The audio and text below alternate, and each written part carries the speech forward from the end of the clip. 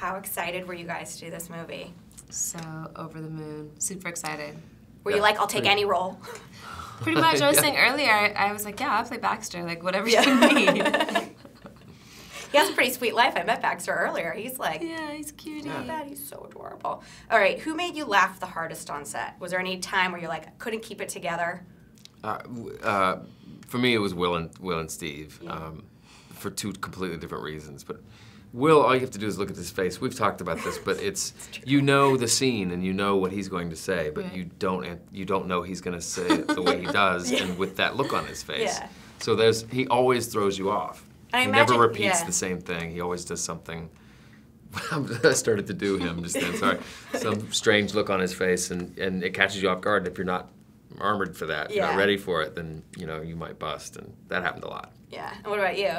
Oh gosh, I'd say I'd say Paul and David. Yeah. I mean, really everybody, but David because he always went a little bit beyond the point of like when you're like everything we're doing is inappropriate, but you just crossed that line. Yeah. And and everyone would kind of get this like and like go to the next line. And then Paul because everything he said was so like chill, but Yeah. it would be like the, great like the Yeah. randomest like weirdest creepiest Yeah. lines and you're like no well, you actually have a really sort of interesting role in the movie. You play uh, Ron Burgundy's boss. Yeah. Um, and it's kind of interesting taking place in 1980. Ron, not very known for being the most PC of Right. people. Right. Um, and so there's definitely some interesting sort of moments between them. What Yeah. kind of does Ron learn from having a strong black female as a Right. boss?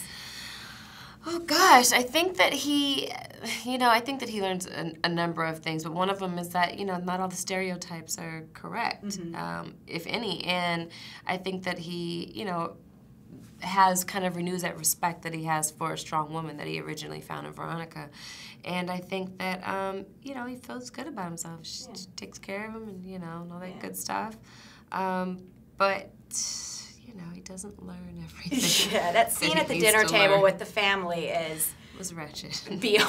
I can imagine that scene was, was hilarious. Yeah, yeah, Yeah. It was a good time because Yeah. I mean that ev- he made apology to everyone before the scene started, but Yeah. not everyone had read the script. Right. So a lot of people did not know what they were in for. so like everyone was real looking- reactions. Yeah, there's some real reactions in there. But but I love that because I think you know it's it's creating a, a genuine conversation Yeah. about ignorance and about stereotypes and about all those things and you need to have these conversations Yeah. and, and especially when they do it it's not preachy or, or aggressive it's um, you know giving it to you in a way that you can digest and disarms you so. That's one of the things I actually thought was really interesting about the movie is that, of course, it's this hilarious comedy, but there's this whole other level to it where there is this really kind of smart lampooning of the modern news cycle. I mean, not to get all super serious here, but Right. it's pretty great. So, um, I guess my last question is, oh, how was the love scene to film? It was fun. um, we talked about it. We talked it through, and you know, we did a bunch of random stuff. I have no idea what they used as the final product, but um, it, it was a lot of fun. and I think Will was like, you know, nervous because he kept like asking if I was okay, Yeah. and I was like, no, I'm good. He's like, you sure you're okay? I was like, I promise I'm good. He's like, okay. Are you okay? And I'm like, I swear. I'm don't think he does love scenes too often in movies either, so I imagine it was a little awkward for him as well.